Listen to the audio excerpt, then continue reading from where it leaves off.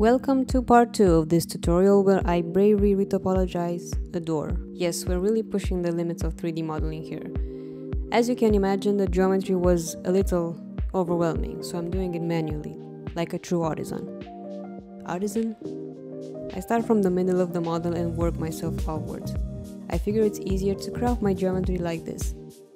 Snap to face is on because I like my geometry clinging to that high poly like its life depends on it.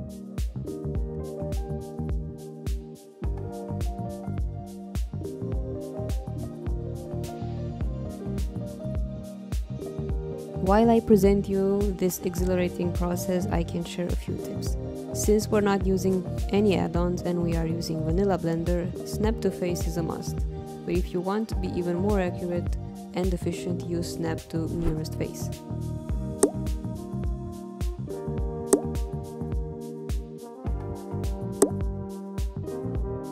Try to work with quads, Quads are faces with four edges, but if you can't always have quads, having triangles is not the end of the world. Avoid elongated, pointy, thin shapes like these because they could create shading errors. Try to have an even distribution of geometry around your model and follow the shape of your sculpt with the low poly as much as you can. And finally, don't overthink it, we're working on a pretty simple static mesh, the geometry is quite forgiving.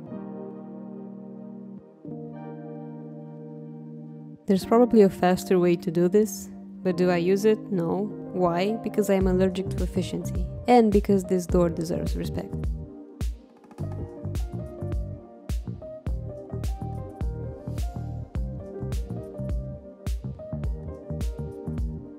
Another thing you can do to help yourself is to slap on a shrink wrap modifier with your high poly as the target object and any geometry you create will wrap around your high poly object.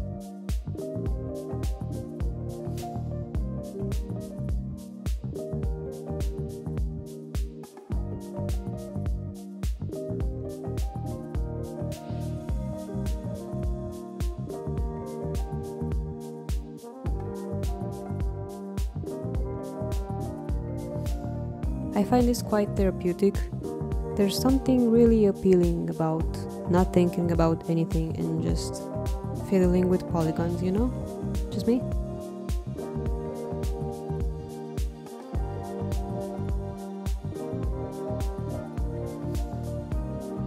In areas like this where I have this door handle, the snap to nearest face and shrink wrap modifier really do come in handy to keep that geometry wrapped around nicely.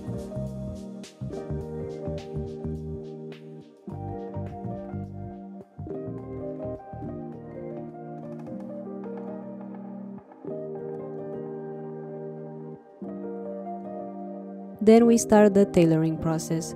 I start adding seams in the least visible and noticeable places where there are corners, sharp edges or material changes.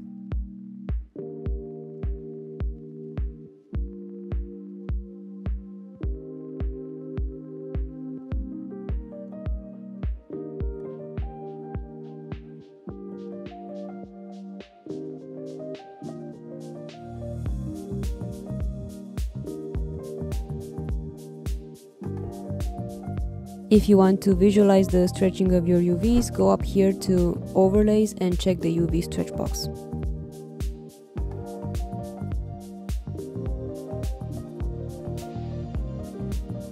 If you want to see your selection both in the UV map and in the 3D model, you can check this little box with arrows on it in the top left corner. I unwrap, check to see where the disaster is, add a few more seams to calm down the blender gods and then unwrap again.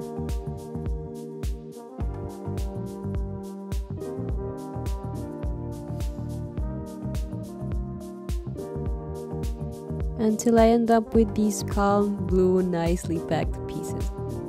Another trick that I have learned to mask an ugly or visible seam is to mark sharp that particular edge because the light contrast between the two faces that create a sharp edge actually mask a seam better than a curved or smooth shaded corner, for example.